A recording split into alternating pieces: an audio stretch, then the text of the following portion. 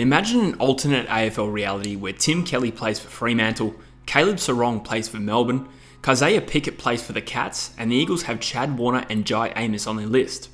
Sounds bizarre, doesn't it? But in this video, I'm going to forecast the impact on several AFL teams in a world where Tim Kelly doesn't join the West Coast Eagles in 2019. So, in 2019, the Eagles traded picks 14, 24, 37, and a future first round pick to Geelong for Tim Kelly and some change. Much has been said of this deal, particularly in the West, and how the decision for West Coast to go after Kelly has ultimately backfired. At the time, there was three possible outcomes. He was going to join West Coast, join Fremantle, or stay at Geelong. So let's consider the latter two scenarios. First of all, let's consider a reality where Tim Kelly elects to stay at Geelong rather than go home to WA at all.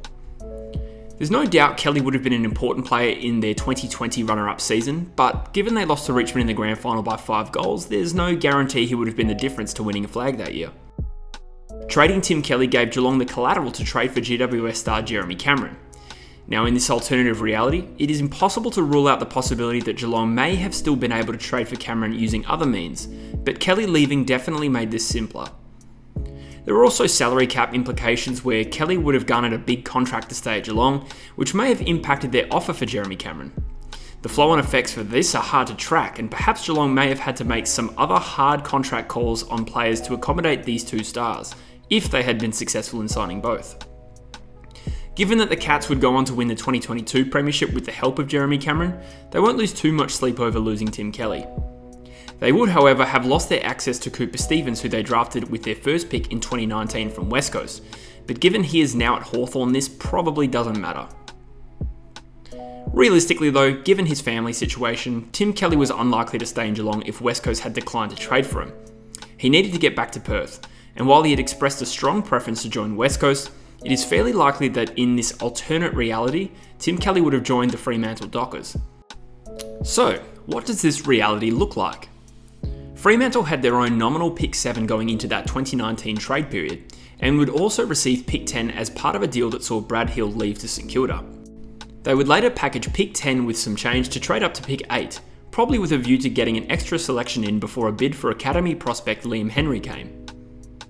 Now, contemplating what Fremantle would have likely been able to offer to Geelong is tricky in hindsight, but it was certainly apparent their offer in terms of picks would have trumped West Coast had Kelly decided to sign with them, much to the frustration of the Cats. My best guess is that they would have done their best to hold on to their pick 7 to retain a pick before a Liam Henry Academy bid, so perhaps a deal involving 10 and a future first could have been possible. Given Kelly's likely contract of at least $800,000 a year, Two first round selections seems like the going rate for a trade, give or take. So, in this scenario, Fremantle retain their pick 7 and still take Hayden Young, whilst also being able to match a Liam Henry bid with later picks.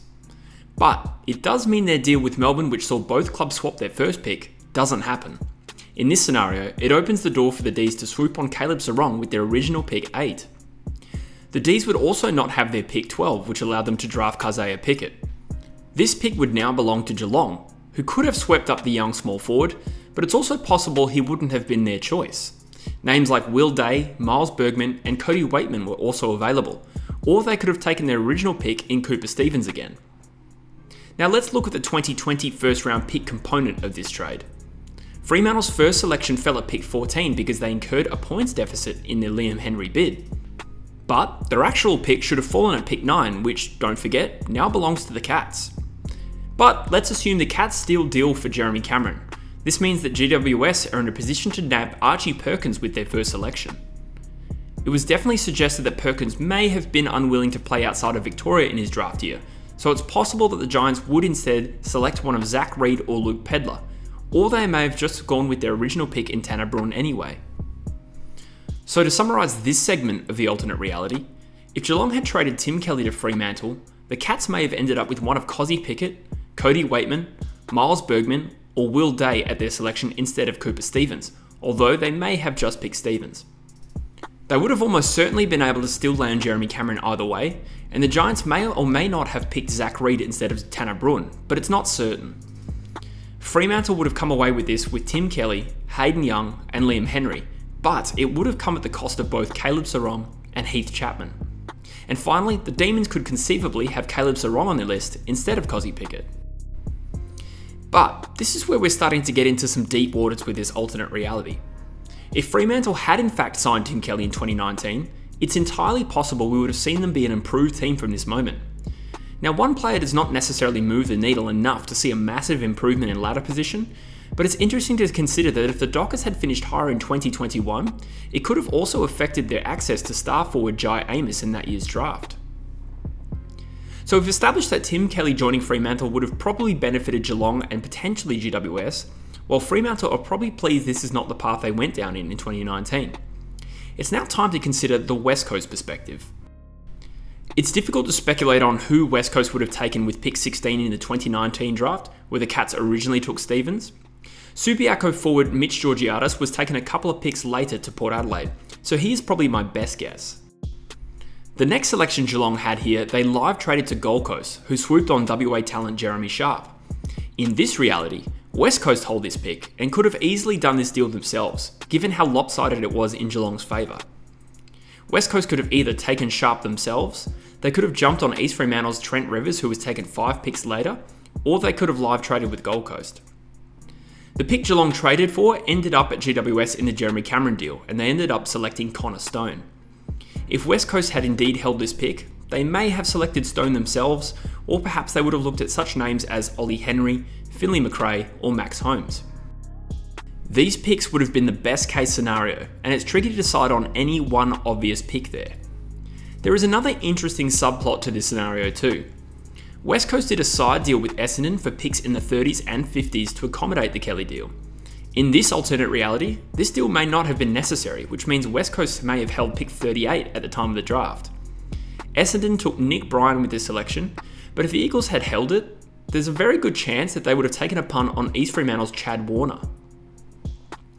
Geelong also took Francis Evans with pick 41, which was originally West Coast pick. Again, it's hard to speculate who the Eagles might have taken here. It could have been Ronan O'Connor from WA who went the pick after, but it's also possible that they would have just taken Callum Jamieson, who they took at 49 anyway, given the even talent pool at this stage of the draft. Then there is West Coast's first pick in the 2020 draft to consider. Without Tim Kelly, the Eagles may have still finished fifth that year given they had a two game buffer on the next best team, so let's assume that this pick is in the same spot. This pick was held by the Giants on draft night, and they selected Ryan Angwin, Again, the Eagles could have taken Angwin, or they could have taken Max Holmes, or even considered names such as Jake Bowey, Bailey Laurie, Brayden Cook, or Nathan O'Driscoll. So, to summarise the West Coast portion of this complicated scenario, in the alternate reality where West Coast don't trade for Tim Kelly, the best possible scenario for West Coast would have seen access to Mitch Georgiadis, Trent Rivers, Chad Warner, and Max Holmes. I don't think the suggestions West Coast would have nailed all these picks with these players is realistic, but it was still nonetheless possible. But there are further flow on effects to consider. West Coast finished just 7% ahead of Fremantle in the 2021 season. If Fremantle had Tim Kelly, in a season where he finished third in the Eagles' best and fairest, it is conceivable that it would have been West Coast who drafted Jye Amiss instead of Campbell Chesser that year.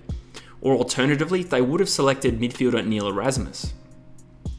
So let's cover off this extensive alternative reality theory I think it's fair to make the following conclusions. Geelong ultimately benefited from Tim Kelly's desire to return home, although him joining Fremantle would have likely produced a better outcome for them on draft night.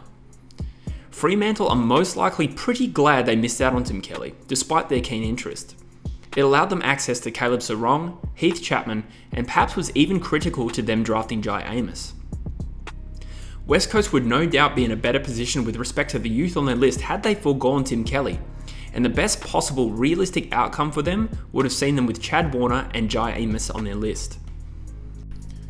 But with that all being said, I feel it's important to add some broader context to this analysis rather than just concluding that the Eagles stuffed up. While West Coast ultimately rolled the dice on Tim Kelly and it appears not to have paid off, there are two fundamental truths worth considering here. Firstly, given their premiership window was wide open at the time of this deal, being 12 months removed from a flag, Taking the risk on Tim Kelly was a no brainer.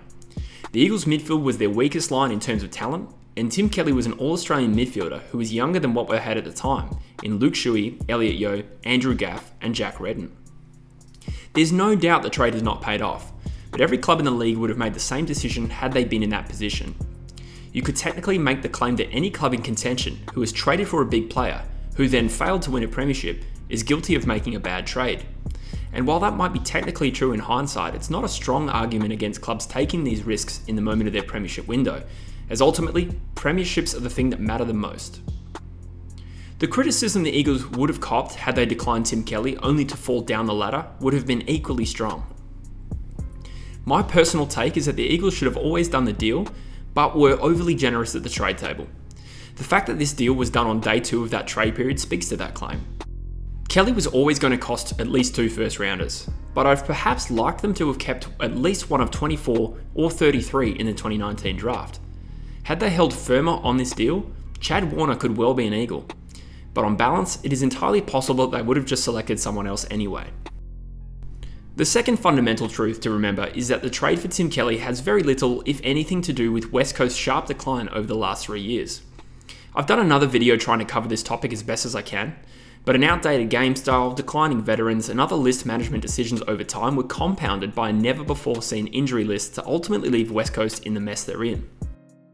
Now, there's no doubt the Eagles would be better placed with some of these young guns on their list going forward, but Tim Kelly in isolation has been one of the few aspects of this current Eagles side that seems to be working. But there you go, guys, that's just my take on this alternative reality in which Tim Kelly does not join the West Coast Eagles. Let me know your thoughts below, subscribe to the channel, and I'll see you in the next one. Cheers.